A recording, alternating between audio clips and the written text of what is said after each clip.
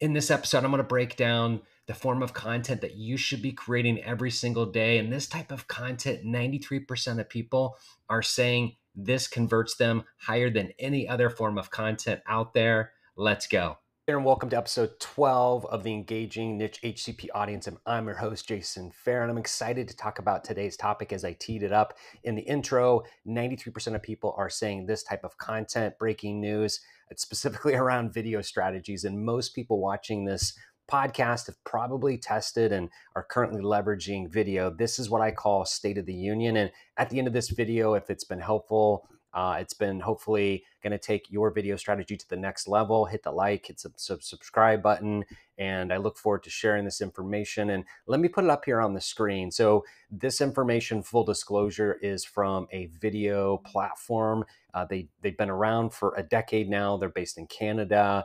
But what they do is they have a platform specifically around how you can host videos. It's a much better experience for the user on your website and then also getting into analytics. But it's called Vidyard.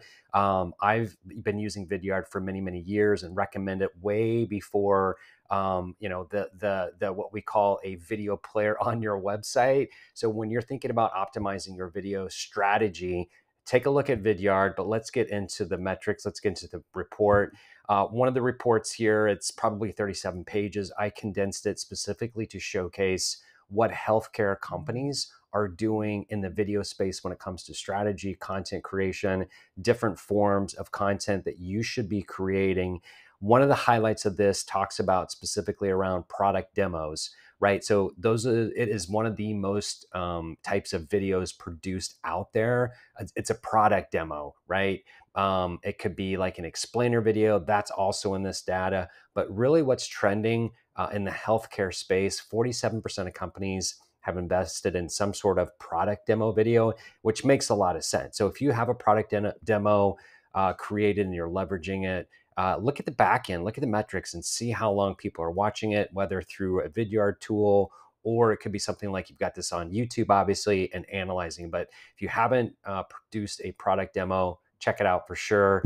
Uh, for healthcare companies, uh, again, this is kind of the latest and greatest when it comes to reports. Uh, again, I'm calling this the the healthcare state of the union uh, video strategy stats. So healthcare companies are creating 23% uh, more videos than they did the previous year. That's an opportunity. I feel if you're not creating video content on a regular basis, your competitors are, and they're continuing to increase.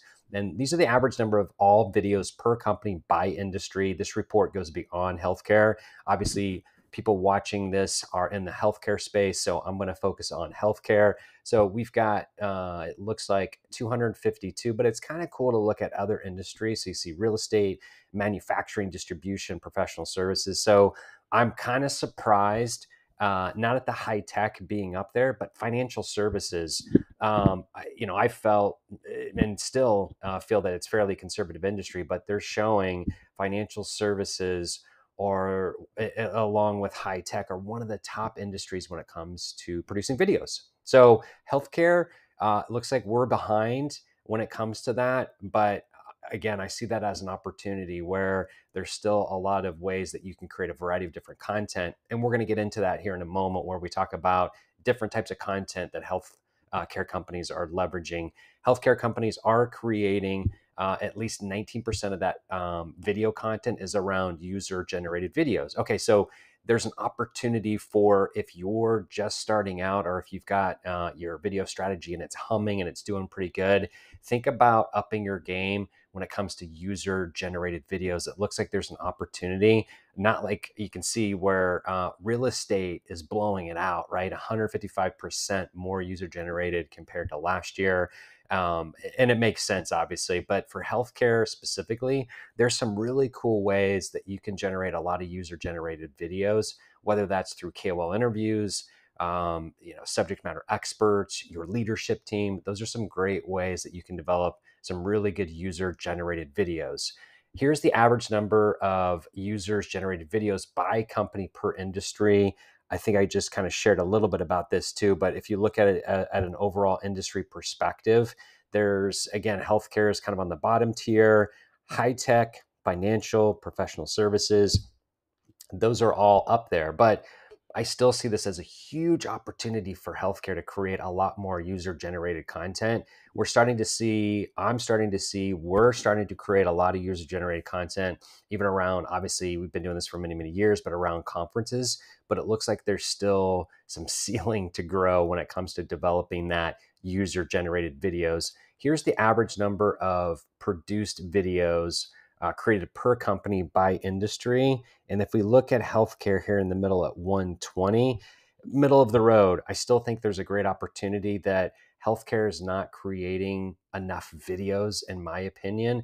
And I'm not for sure why, but healthcare is one of the most complex um, industries out there.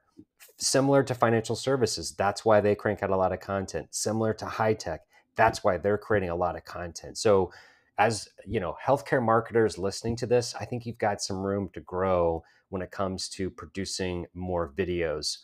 Uh, here's a great stat from the state of healthcare here. It's why are large large companies creating more user uh, uh, generated videos. Uh, obviously smaller companies have been doing this for many many years. It's low cost low lift but it's got high impact and now the bigger enterprises, as it states here, are getting into the party too. So word is out. It's a great way to do it. Uh, user generated contents that can either be produced on your iPhone or it can be produced by a professional like video company, right? So there's definitely different ways that you can create user generated videos. How we're doing it specifically for our clients, it's typically uh, around the conference strategy. So you've got your key opinion leaders, you got your subject matter experts, as I mentioned before. At a conference, it's a great cost effective way to do it. But you can also do those interviews on your iPhone, right? So it just depends on what sort of quality that you want and how you're leveraging those videos. Most clients in our space are leveraging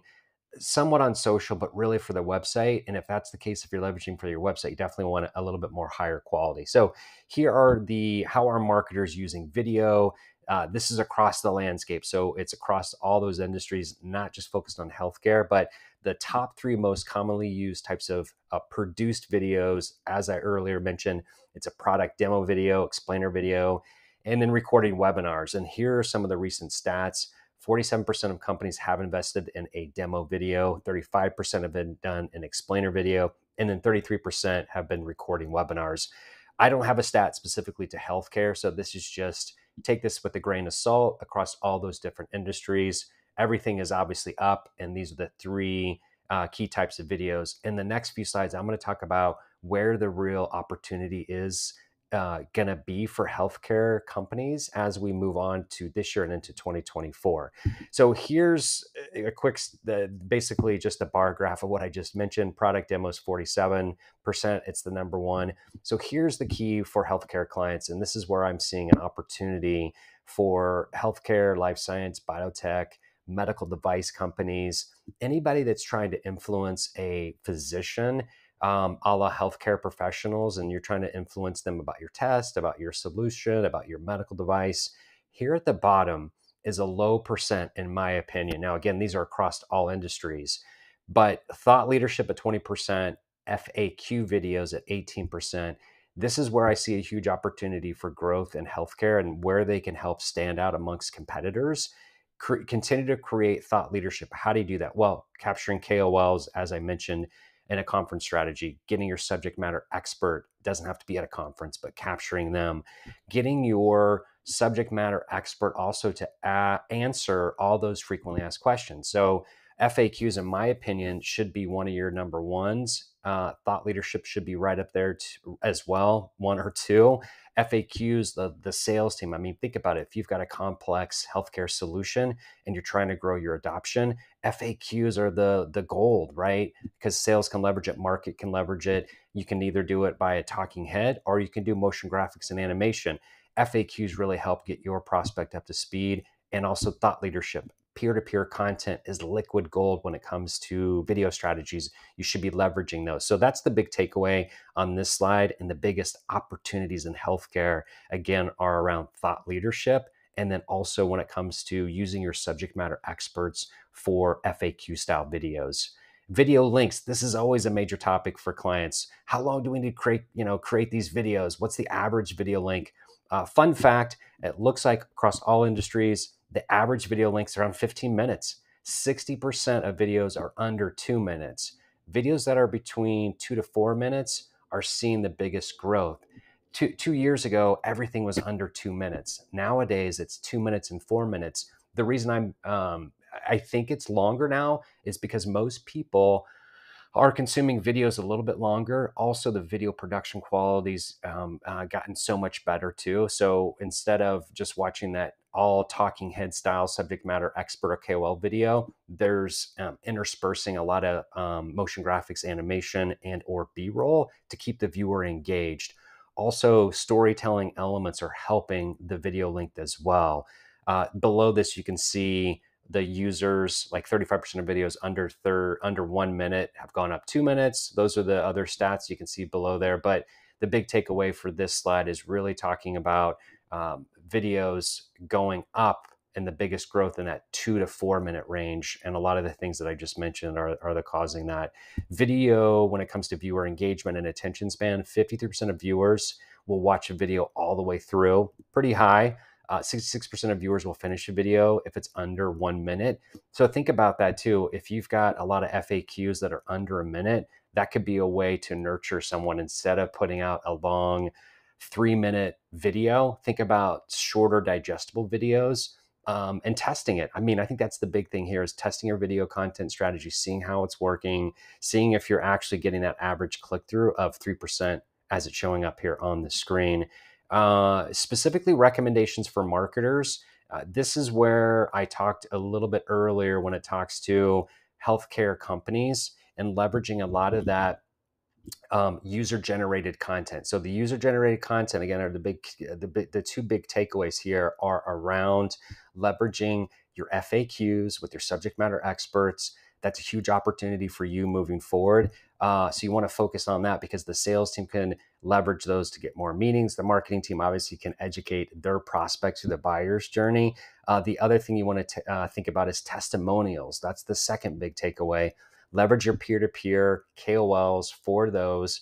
And honestly, that's the latest and greatest when it comes to the uh, State of the Union video address. So, as you map out the rest of this year and into next year, your video content strategies, I hope this podcast has been helpful. If it has, hit the like button, hit the subscribe button, and look forward to connecting with you soon.